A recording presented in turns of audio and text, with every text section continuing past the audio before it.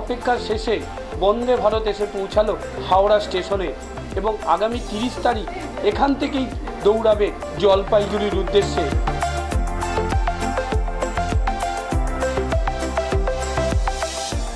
এখানে প্যান্টিকারের যে সামগ্রী, সেগুলো রয়েছে, ফ্রিজ রয়েছে হটকেস রয়েছে বয়লার রয়েছে এবং পাশাপাশি বায়ো টয়লেটও কিন্তু এখানে রয়েছে। সব মিলিয়ে বলা যেতে পারে একবারে সাজানো এবং অত্যাধিক পদ্ধতি এই বন্দে ভারত এক্সপ্রেস। এবার চলে আসব ভেতরে।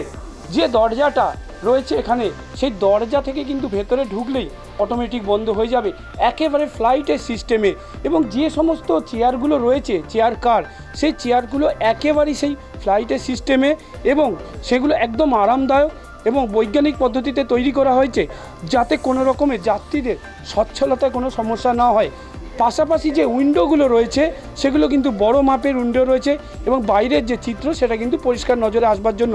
শুধু তাই নয়, রৌদ্রের হাত থেকে বাজবার জন্য সেখানেও কিন্তু প্রোটেক্টার করা রয়েছে। সব মিলিয়ে বলা যেতে পারে, একবারে সাজানো গোছানো, শুধু তাই নয়, স্টেশন আসলে কিন্তু পরিষ্কার জানিয়ে দেওয়া হবে এবং সেখানে হিন্দি এবং ইংলিশ দুটো শব্দতেই কিন্তু সেটা ভেসে উঠবে। এবং সব মিলিয়ে যে অত্যাধিক পদ্ধতি তৈরি করা হয়েছে, সেখানে খাবার সার্ভ করবার জন্য টেবিল এবং ফোল্ডিং তারপরে কিন্তু সেটাকে বন্ধ করে দেওয়া হবে। সব কথায় একবারে মানুষের হাতের মুঠোয় এবং আরামদায়ক নর্থ বেঙ্গল যাওয়ার জন্য একবারে উন্নত মানের এই বন্দে ভারত এক্সপ্রেস, যা কিনা পাঁচ থেকে সাত ঘণ্টা সময় লাগবে এনজিবি পৌঁছাতে। যে সময় লাগতো বারো ঘণ্টা, সেটা কিন্তু এখন পাঁচ থেকে সাত ঘণ্টার মধ্যে পৌঁছাতে পারবে। হাওড়া থেকে রণজিৎ রায় আট প্লাস নিউজ।